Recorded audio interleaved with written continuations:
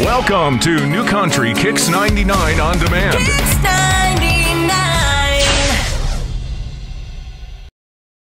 Here we go. Nashville, Tennessee, 49th annual CMA Awards getting started. Canaan Smith in the house. What's, up, brother? What's up, bro? How you doing, man? All is well, man. All is well. Now, you can, last time we saw you in Augusta, you're helping us out with an Alzheimer's benefit Yeah. with our buddy Cole Swindell. Yeah, that was a man. blast. And a lot of stuff's happened since then, man. I mean, I've got Love You Like That, number one, Yeah, out on tour with Dierks. Tell me about that Right. Dierks tour. How cool was that? so much fun, man. We had a blast. It was all about working hard and playing hard out there and giving the fans the best show they could they could experience this summer, and that's what we went for. I, I feel like that's what we did too. Yeah, no, we talked to Maddie and Tay earlier, and now they got pranked uh, with the big aluminum foil thing on the bus. yeah, yeah, yeah. Now, did he did he get you? He never got me. No, really? he never got me, and uh, I think that's pretty awesome, actually. Yeah. because you know I, I I heard that he was a prankster all along, and, and I was expecting for something to happen, but um, we were safe. I mean, he did come out.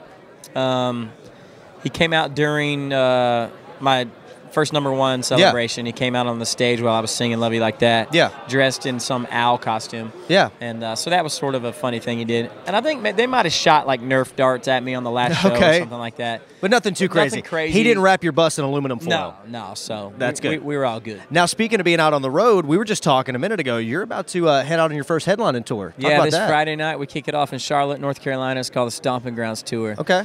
I'm so excited for it, man. My first time to get out there in front of the fans, give them a, an entire hour and 20 minute set, bringing production and lights for the first time. Yeah. And whew, I'm so stoked. I'm Man, so ready. Now, talking about being out on the road, you know, with Dierks and with uh, you know your own headlining show, what's one thing that's got to be on the bus or you got to have out Yeah. on the road with you? If oh, if not, you're you're lost.